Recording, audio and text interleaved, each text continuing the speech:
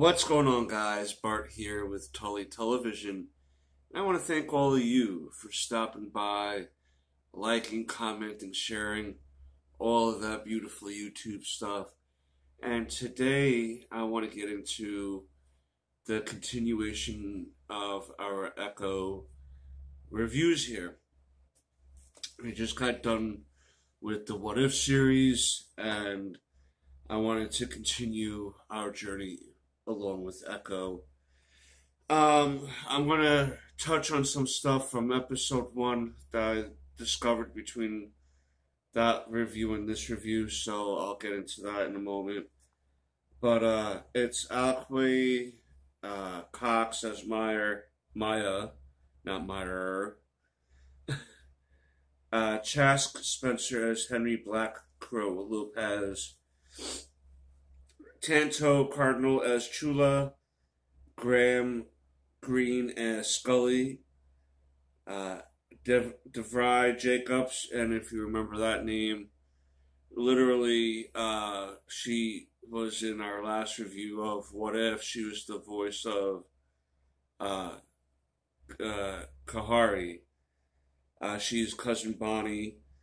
Cody Lightning is Biscuits, Maya's other cousin.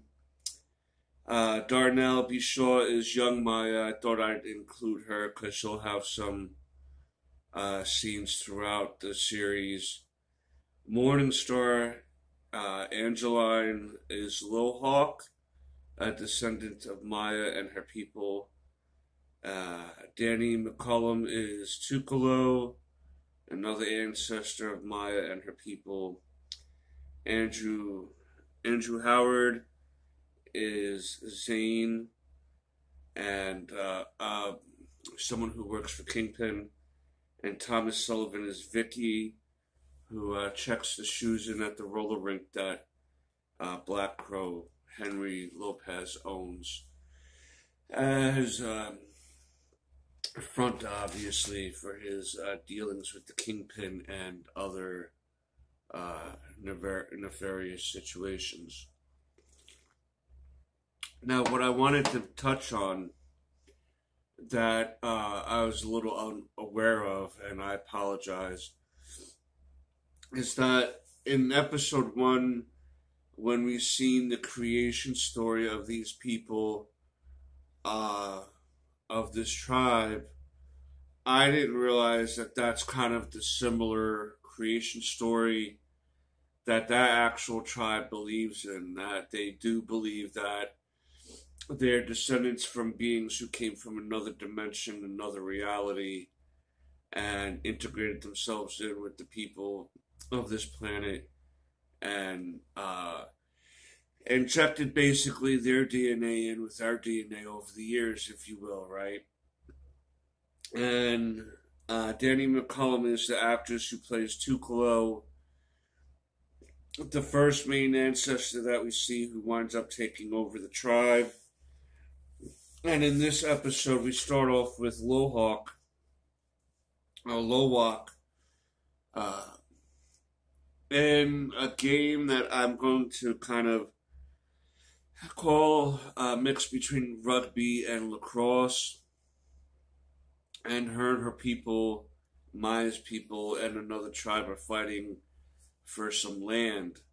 And they're doing it with this game instead of using bloodshed and war, uh, you take some of your best warriors and you face them off against these other warriors, and whoever wins that game will win um, the land or whatever have you uh, that's at stake.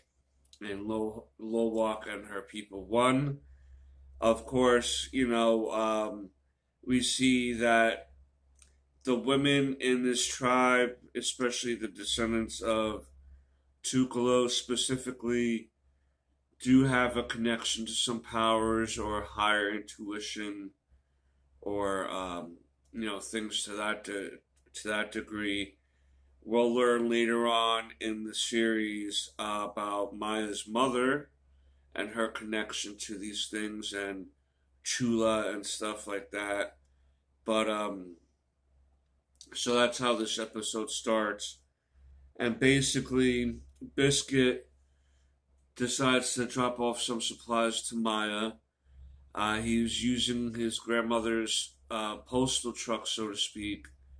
Uh, Chula is his grandmother also, and she allows him to use the mail truck on occasion. And when he brought her over some supplies, Maya convinced him to bring her to town uh, for another thing. Uh, that other thing winds up being uh, one of the better scenes in the whole uh, series so far. You know, if we're taking it from hindsight of review episode one and two, this does have one of the better, uh, like at least an interesting uh, sequence of event uh, of events. Uh, we also uh, see that Chula is talking to a bunch of people about the powwow that's getting ready to happen uh, at that point, like within a few days or what have you, where they're setting up what tent goes where and, and such. And that's when she finds out that Maya is back in town. Uh, she plays it off like she knew, but then she goes to talk to Henry, and Henry kind of lets her know that as far as he under his understanding, Maya is not going to be in town that long because uh, she had approached him about helping her against the kingpin. But his concern is not disrupting the peace so he can save his people, at least not shake the ground they're, they're, they're living on, so to speak, by getting into a war with the kingpin because. Uh, most of these people are not going to be able to, uh, you know, defend themselves against someone who's willing to do just about anything to win. She gets mad, and that's when uh, she decides to uh, go the route of having Biscuit help her. But in the meantime, Chula talks to Henry, and is satisfied with the answer enough because she doesn't want Maya around like that anyway. Uh, we pick up with Biscuit and Maya on this bridge. We hear a train coming, and Maya connects his phone to hers so he can track her, and she jumps off the bridge and lands on the train. Now I'm kind of glad that they made it to where she didn't stick the landing where she almost fell off because, you know, it would have been like, come on, man, you know. But she gets on finally and steadies herself and winds up setting an explosive to a train car. Um, trying to see if I wrote down uh, I think it's called like D9X, the D9X train car uh, that's there. And as she was getting ready to leave, her prosthetic leg gets caught between two of uh, the train locks, so to speak, and it crushes her prosthetic leg, but uh, makes her stuck. And this is when we start seeing her hands start doing a glowy thing, and she's able to use uh, some sort of strength in order to separate these two hitch locks or whatever. However, whatever is locking the two train cars together, whatever the technical term of that is, she's able to separate that enough for her to squeeze her prosthetic leg out. And she goes to Skully to have it repaired and uh, and has the promise of getting it, uh, getting an upgrade, so to speak. Uh, or little does she know she's going to get an upgrade to it. Uh, this is all coming together, and he tells her about her uh, story about how the women are descendant of these of this Tsukalo, and the grandmother was able to trace the roots back to her, and so establishing even more of Maya's lore and backstory. and her connection with the people. And um, the last one of the last scenes I want to talk about is this uh, character Vicky who works at the Rolling Rink, who checks in the shoes and everything. We see him make a phone call about the about having information on the woman who took down the king, and basically. Uh, because we see, I don't think I mentioned this in episode one, but in episode one, we see Maya uh, be stabbed uh, and have to stitch herself up with dental floss. And um, she winds up going to a doctor and getting it fixed anyway uh, with the help of Henry um, because he need a doctor on staff that, you know, you don't want to go to the hospital with the type of jobs you're doing. And I haven't explained that. But um, that's what prompted her more to, uh, you know, strike this car because it was basically. We'll learn how important it was, but basically, uh, it landed a big hit into the Kingpin's empire, and uh, we're probably going to get an eventual meeting between him and Maya. But that's pretty much where the episode ends, where we see uh, that she's being recognized. Uh, her some of her own people are trying to reject her. Her own family. She doesn't want to tell her cousin Bonnie she's in town. And the only one she seems to really trust in town is uh, Black Crow, Henry, and Skully. So we'll see if um, Maya will slow it down and not go against the Kingpin or convince her people that she's doing the right thing. And we'll see more of how her possible powers will grow and affect her and those around her.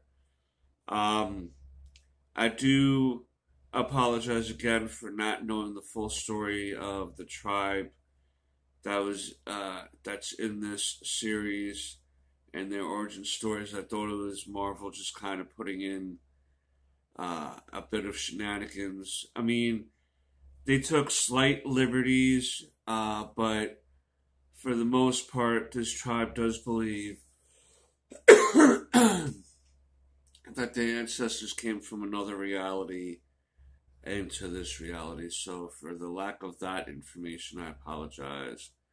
Uh, but I still stand by uh, liking this series so far. I mean, yes, my the actress who plays Maya may not uh, be the best fighter on screen, right? Um, she's not exactly uh, yeah, I don't know. Like you can tell that some of the fight scenes with her are a little slow and um, that she's working with good stuntmen. Uh, you can tell that she's really doesn't have a background of fighting of anything, but uh, with how well the stunt work has been and how well Charlie Cox did with her in the first episode, uh, I'm particularly um, prone to letting it slide because I think that to learn about these people and to kind of learn a little bit about Maya, I think is uh, kind of a fun experience so far. I it's not a show like I was particularly clamoring for, like oh yeah, Echo, ooh, you know, I'd rather see a Wonder Man series. I'd rather see uh, any of the uh, Gambit series, a Magneto series, um, Nightcrawler. Give me some Nightcrawler, baby. You know this already at Tully Television. Uh, but for what we're getting and what my expectations were, uh, it is meeting those expectations, even though they were a little low. Uh, I, I I enjoy the interaction between her and Skully, her and Henry, and I just hope that uh, when we get to the Kingpin part, that that that's thumbs up too.